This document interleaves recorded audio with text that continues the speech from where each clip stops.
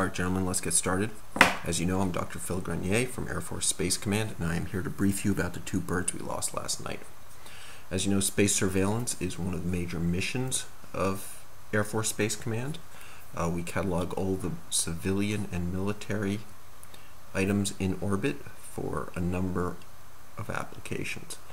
Uh, we have sensors all over the United States and in a number of participating foreign countries. Is with PowerPoint in these transitions? Uh, anyway, we, we have a number of sensors both under the command of the U.S. and contributing from foreign countries, but the most important one here is our MSX satellites. These birds in orbits let us do surveillance from space on the other items in space. I didn't even know PowerPoint could do that, but anyway, um, a lot of reasons to do this.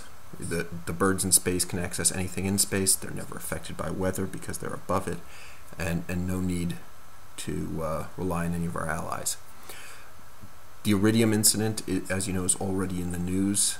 Uh, it's a pretty serious issue. They have 66 satellites in orbit, and they lost one of them last night. Here we go. Let me see if I can get this movie playing. This was captured by one of our MSX satellites. There we go. All right, so there we go. So, so this is the Iridium bird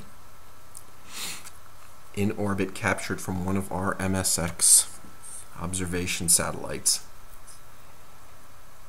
There we go. Right there's the impact.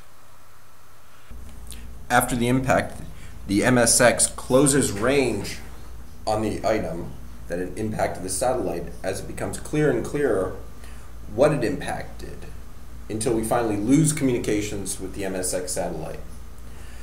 So, in conclusion, once again, we have spacecraft lost to collisions with vehicles from a 1970s science fiction we lost an Iridium communication satellite and MSS, MSX observation satellite. So standard operating procedures for the, these cases are that we are going to say that the commercial satellite ran into a disabled Russian satellite. The Russians are on board with this. I talked to them an hour ago. Uh, and we're going to deny that any, MSX satellite was involved in this incident whatsoever. And that pretty much wraps up what we're going to do in this case. Any questions? Yes, Mr. Jones. Okay, good question. Um, kind of personal question, but no, I, I don't find any of this disturbing.